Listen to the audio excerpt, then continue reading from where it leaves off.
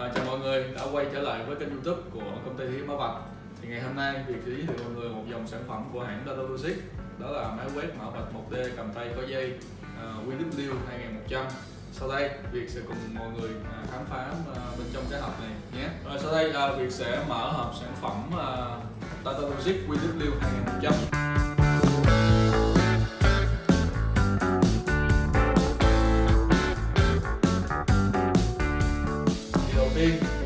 uh, chắn là chúng ta sẽ có dây kết nối rồi.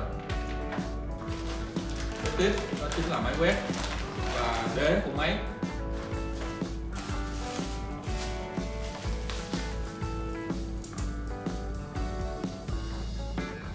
Và cuối cùng chính là sách hướng dẫn sử dụng của máy.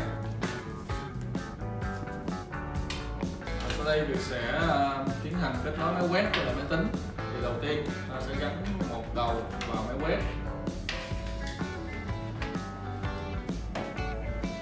Cái kế tiếp là ta sẽ gắn vào cổng USB của máy tính. Như vậy là việc kết nối đã thành công. Chúng ta nghe tiếng kia tiếp sau đây chúng ta sẽ tiến hành quét thử máy quét này.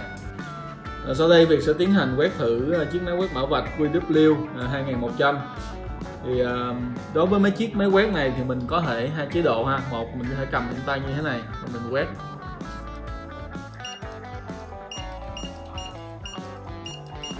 Hai là mình có thể gác máy lên cái cái giá như thế này ha. Và mình sẽ quét như thế này. À, mọi người đã thấy rõ ha chiếc máy quét là đọc rất tốt mã vạch 1D thì mình xin kết thúc demo ở đây.